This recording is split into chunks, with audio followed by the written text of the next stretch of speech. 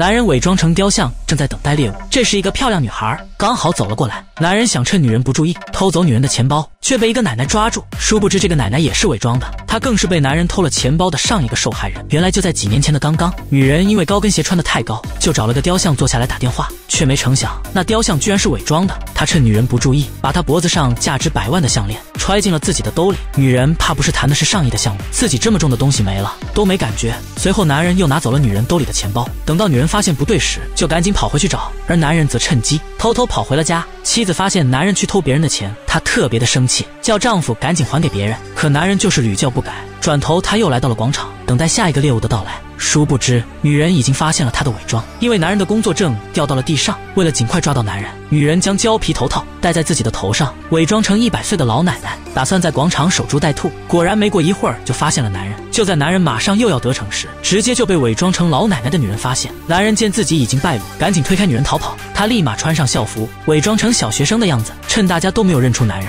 他又趁机开溜，万万没想到，女人带着警察已经找到了他的家里，并一把抓住了男人。原来，男人偷钱是为了救女儿的命，女儿急需要一笔巨额的手术费，男人走投无路，才出此下策。他虽然得到了惩罚，但这样的父亲值得我们原谅吗？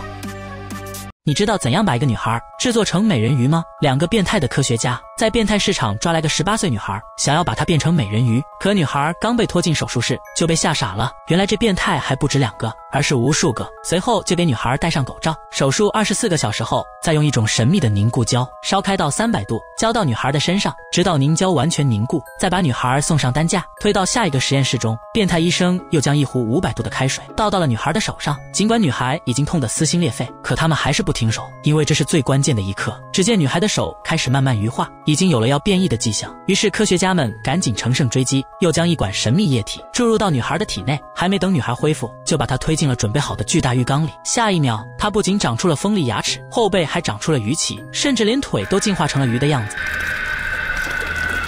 从此，一条人造美人鱼就成功了。这是一杯杀人奶茶，男人只是滋了一小口，下一秒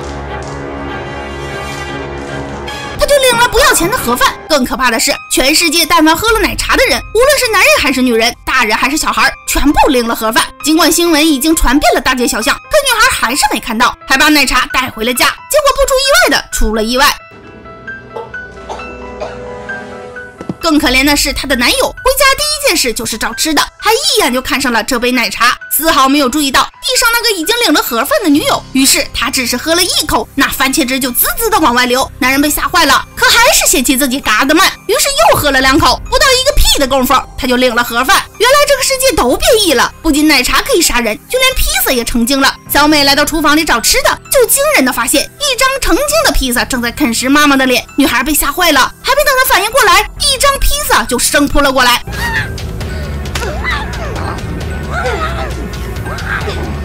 赶紧把它放进微波炉里，再加热到零上一千八百度，这才把成精的披萨烤成了渣渣。危机刚刚解除，旁边的烤箱里又有一大堆的披萨要跳出来吃掉女孩，可把女孩给吓坏了。她赶紧关闭烤箱，又将大火开到最高，这才将他们通通杀死。本以为这就安全了，可万万没想到，那吃人的披萨还会自己送货上门。男人脱下一百万一双的球鞋，却换上了别人不要的破鞋，又把左脚的鞋撕了个大口子，再把手机塞进鞋里。他究竟要干嘛呢？原来就在刚刚，蓝衣男用棉花糖偷走了女人的手机，随后又把她裹上厚厚的一层棉花糖，企图叫同伴带走，结果却被女人发现。因为他的四岁女儿已经等了很久了，所以女人死活也不肯让给男人。结果男人就把棉花糖扔到了地上，本以为女人会嫌弃脏，结果那棉花糖却被清洁工给拿走了。烦！男人赶紧停止争吵，去追清洁工。万万没想到，等到找到时，手机已经卷进了一丢垃圾里。男人也不管脏不脏，就赶紧翻找了起来。可清洁工却以为他是来捣乱的，举起铁锤就要驱赶他，却又被电话铃声打断。男人看准时机，捡起垃圾就跑。好不容易找到了电话，却发现女人也循着铃声找了过来。男人灵机一动，赶紧把自己的鞋脱掉，换上一双破烂的不能再破烂的鞋，又把左脚的鞋撕烂，再把手机狠狠地塞进去。等到女人找到他，男人还一副什么都不知道的样子。直到保安检查了男人的衣服，才发现确实没有手机。女人也只好失望地离开。蓝衣男以为同伴失了手，将手机随便丢掉了，却万万没想到，他就藏在了男人的脚下。这可是最新款，本以为两人会发笔小财。结果又被清洁工抓了个现行。这下惨了，女人一把扯下路人的围巾，绑在自己的脖子上，又摸了一墙的黑色石膏粉，涂到自己的嘴巴上，最后又抓了一把奶奶的骨灰，涂到自己的眼睛上，化成烟熏妆的样子。女人还觉得不过瘾，于是又撕下粘在脚上的一张钞票，想要乞丐的衣服，伪装成乞丐，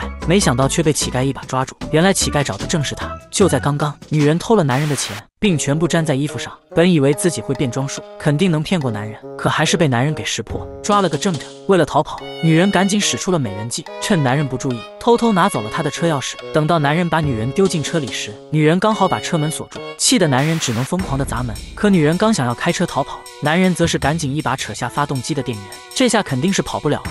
这么暴力的一幕，却被消防员逮了个正着，还一把抓住了他。男人赶紧告诉帽子女人才是小偷，他偷走了自己的钱。可女人却说是男人才是小偷。原来就在不久前的刚刚，爷爷想给孙女买台车，却被男人给骗了。男人不仅带走了爷爷的钱，还把车也开走了。这一幕正好被孙女看见，于是就决定亲自把钱拿回来。女人好不容易得手，却还是被男人发现。见事情已经败露，男人赶紧拿出一打钱，想要贿赂消防员。结果消防员就叫女人赶紧下车。绝望的女人绝望极了。可就在男人想要欺负女人时，消防员又一把抓住了她。而那一沓钱也给男人多加一条罪责。男人终于得到他应有的惩罚。女人把一串金项链挂在富豪的衣服上，并栽赃他是小偷。保安害怕男人逃跑，于是赶紧将他绑了起来。女人则趁大家不注意，又悄悄偷走男人的钱包，把钱全部放进自己的口袋里。等到男人想要证明自己的身份时，却发现钱包掉到了地上，并且里面什么都没有。女人就趁乱想要赶紧逃出去，却被保安又一次叫住。这下可不得了了，女人直接就感觉喘不上来气的快窒息的感觉。原来就在刚刚，女人把一串价值一亿的珍珠项链吞进了嘴里，刚想要逃跑，却不小心撞到了保安的身上，那项链直接就被女人吞进了喉咙里，这再不跑恐怕要被卡死。女人想要赶紧开溜，却被保安拦住，还想叫他帮自己的妻子也挑一份礼。正在女人左右为难时，店长又刚好发现了那串价值一亿的项链不见了。完了，这下完蛋了。可女人却十分淡定，因为她找到了替罪羊。本以为会成功的偷走项链，结果却差点被噎死。保安赶紧把女人送到了医院，才发现女人吞了一串项链。可你绝对想不到，女人只是为了救救自己的爸爸。原来她爸爸急需要一笔手术费，为了救他，女人只能铤而走险。看到她真诚的举动富豪选择原谅这个女，并将那串价值不菲的项链送给她。毕竟生命在金钱面前还是一文不值的。在富豪的极力劝说下，保安也只能选择沉默。女孩终于意识到了自己的错误。心机女故意把新娘扔进垃圾桶里，随后赶紧把垃圾盖锁住，再用一辆车把她运走。自己则是伪装成新娘的样子去参加富二代的婚礼。为了破坏这场婚礼，女孩不仅狠狠地当众拒绝了男孩，还用亲吻别人的方式来羞辱他。可等男孩一回到家，可恶的心机女又伪装成女，偷偷的接近男孩。更臭不要脸的是，趁着富二代没注意，偷偷往其酒里倒下神秘的粉末。果然，富二代没喝几口就昏倒在了床上。而另一边，可怜的新娘此时已经被丢在了荒郊野岭。幸好一个老大爷及时发现了她，这好不容易死里逃生，却又发现丈夫这惊人的一幕，新娘顿时懵了，于是便立马收拾行李，果断离开这个家。结果男人非常暴怒，还质问新娘为什么这么羞辱自己。可笑的是，两个人根本不知道对方过往的经历，但抢来的怎么抵得过真正的爱情？很快。富二代一秒就看出了破绽，真正的新娘手指甲是纯白色，而拒绝自己的假新娘手指甲则是红色。他立马意识到，方才的新娘其实就是心机女假扮的。天大的误会终于被解除。没想到的是，心机女还裹着浴巾就被赶了出来。更惨的是，浴巾还被门夹住，没有了衣服，她只能躲进垃圾桶里。果然，垃圾就得待在她该待的地。空姐将一杯牛奶倒进杯子里，却突然出现了一串数字。女人在求救，可空姐却眼力劲不行，没看出破绽。这时，人贩子醒了过来，呵斥她千万不要动。可万万没想到，刚才空姐并不是没看到杯子上的字，而是在想办法救她。空姐假借为女孩检查身体为由，把女孩骗到头等舱，了解情况后，便和女人互换了衣服，又把女人藏到了购物车里，自己则去收拾渣男。等到人贩子发现时，空姐一把掰弯了男人的手，又找来机长将男人捆绑到座位上。等到飞机落地，男人必将得到法律的严惩。男人花一百万在网上买了只生蚝，结果刚打开盖子，里面就出现了个小人脸。更没想到的是，那小人的嘴里还吐出来一颗价值上亿的珍珠。我的妈呀，这不发财了吗？可男人却没要，还喂给食人花，因为他已经八十天没有吃饭了，也不管有没有毒，他就咔吧干进了嘴里。别说还挺好吃，不仅一股咖喱鸡腿的味道，嚼起来还嘎嘣脆的，把一旁的小海豹都给惊呆了。就在男人还要来上一口时，啪叽一坨鸟便便正好糊在了小人脸上。本以为男人会把它扔掉，结果男人咔吧就送进了嘴里。我的妈呀，这也太下饭了！吃完还不忘把手指舔一舔，那臭臭的味道简直太销魂了。于是他就想来点更臭了，他把一百年没有刷的臭鞋煮了下，就搬上了餐桌。这把去世的老板就给嫌弃的直卡巴自己的眼睛。他先是拿出自己的鞋垫，经过一百度的消毒，还熏得男人喘不上来气。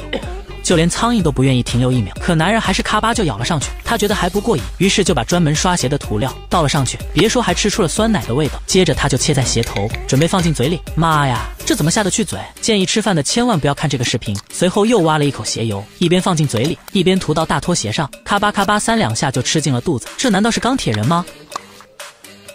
男人制作了纸成精的冰淇淋，爸爸问他二加二等于几，他能很快的算出正确答案，答案是三。开始的时候他还十分的乖巧，可随着年龄的增长，他就越来越叛逆，甚至还神秘消失了。原来小的时候的冰淇淋还是十分可爱的，他每天要吃三袋糖，到了晚上就会哇哇大哭，男人每晚都要抱着他，然后再拉出一堆的糖豆后，才能安静的去睡觉。一岁的时候，小冰淇淋学会了走路，虽然也会摔倒，但好在他有自愈的能力。两岁的时候，他就展露出了非凡的算术天赋，比如二加二等于三。可到了四岁，小冰淇淋就开始顽皮起来，经常在厨房里敲的锅具叮当乱响，还把自己的头发改成了非主流的样子。男人每次看见他，都想用勺子把它吃掉，但一想到自己含辛茹苦养大的孩子，男人又十分的舍不得。那小冰淇淋到底是哪里来的呢？原来就在不久前的刚刚，男人因为太热就想吃个冰淇淋，他拿来一口装满冰块的大铁锅，倒上一袋子的白糖后，再倒入两盒过期的牛奶，随后又拿来两个大铁钳子，狠狠地夹住两边，最后启动三千六百伏的高压电烘烤，美味的冰淇淋就做好了。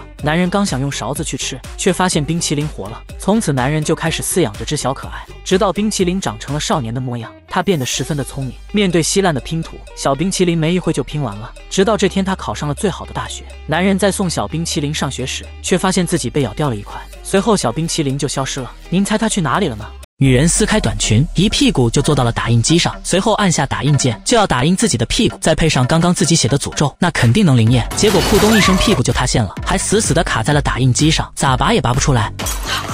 更要命的是，这一下还打通了他十年老便秘，马上要窜稀了。这可是一个亿的打印机，女人赶紧打电话求救。等到消防员赶到时，女人还被锁在了里面，没办法，消防员只能用小笔尖将门打开。随后闺蜜也跟了进来，这不看不知道，一看差点没被笑出猪叫声。只见女人卡在打印机上，一动不敢动。为了防止刮伤女人的皮肤，消防员一下撕碎了纸箱子，小心的塞到女人的四周，叫女人稍作稳定后，再一把抱出了女人。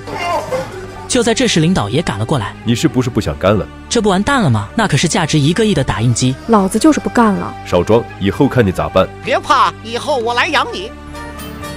原来就在刚刚，女人遭到闺蜜的小报告，被老板狠狠地训斥了一遍。不要脸的闺蜜还想安慰她，女人就差没上去赏她个大嘴巴子了。她再也不想忍了，于是就想要辞职离开这里。在写好大大的辞职信前，就想着再印个屁股上去，羞辱一下自己的老板。结果草率了，还不小心把自己给卡里了。这一下就算是完了，干一辈子估计打印机的钱也没办法还完了。所以做事千万不要冲动。男人想要生发，于是就在网上买了个有特效的三无产品。他激动坏了，立马把自己仅有的头发全剃光，再将生发液厚厚的涂到了脑袋上，最后戴上的头套就等着茂密森林的诞生了。可三年后，男人第一次打开头套，就发现脑门上不仅一根头发都没生出来，还长了一脑袋的水泡。男人只是轻轻一挤，那脓包就破了，但破了的地方还真的赠命的钻出来几根头发。男人高兴坏了，于是赶紧挤下一个。男人整整挤了十年，才把头上的包都挤完。果然，到了第二天，男人长了一脑袋的毛发，这也太有效果了。可万万没想到，这是个杀人生发液。男人不仅头上长出了头发，就连眼睛里也长出了头发。下一秒，他就变成了个长毛怪，真是太可怜了。友情提示：千万不要买三无产品。